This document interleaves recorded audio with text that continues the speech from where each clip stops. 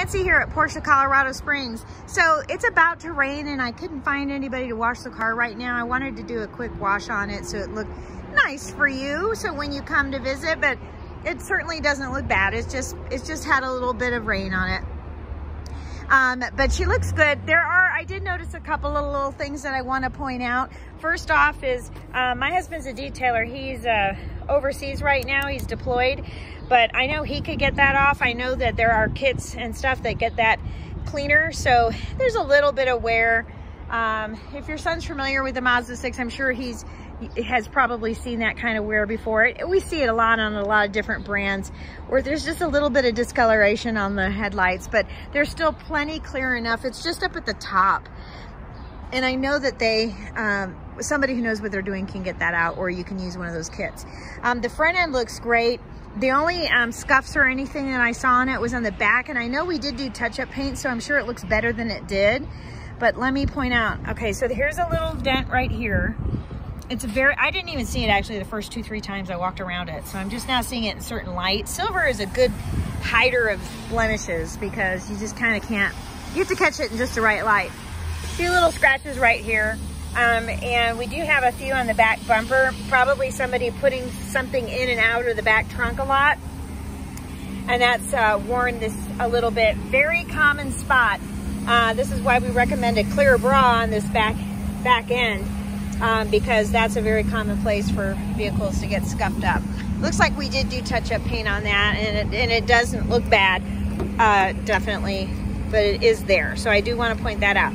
Now I did talk to my boss a little bit about the price of the car and I'm gonna see what I can do, okay? Because we do wanna sell it and uh, I know it, the budget's tight, so I'm gonna do everything I can to help you out.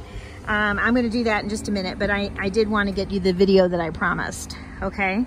So it's got a nice interior, a little bit of wear on the seat, but again, it's just getting in and out and uh, you know, it's a Mazda, so the leather is not quite the same quality as, as it would be on a Porsche. Uh, but so the wear I think is really common on, on these vehicles. Certainly nice and it drives great. All right, and in the back, and it looks like they did a little touch up right here on this back seat too.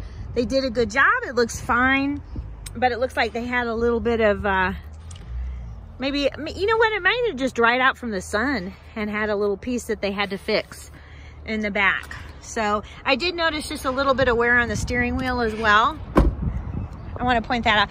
I mean, obviously for the price of the car, the low miles, it's a great car. We've done some good work to it. It'll be a nice, um, nice, good vehicle for your son. Um, but it isn't perfect. It does have a little bit of wear that I want to show you. So there is a little bit of wear on the steering wheel. Um, again, that just hasn't been touched up and that could easily be, be touched up. Let me get in here really quick. It smells good. There's no weird smells in here. That's always important to note. Let me turn it on really quick. I'm trying to see if I can find, oh yeah, there's the odometer. So it's got 37,677 miles on it. Do you have a nice driver's information display and a nice um, uh, screen right there. Dash looks good. Um, everything else looks good. And um,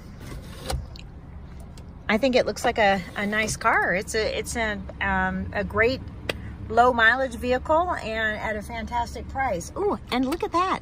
It's even got a little sunglass holder right there. We like that. Okay, I'm going to do that quote next for you.